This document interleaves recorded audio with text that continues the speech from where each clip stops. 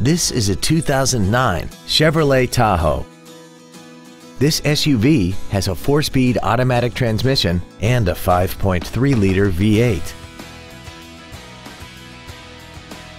Features include XM satellite radio, traction control and stability control systems, cruise control, a six-speaker audio system, a passenger side vanity mirror, a multi-function display, air conditioning, a split folding rear seat, a rear window defroster, and this vehicle has less than 68,000 miles.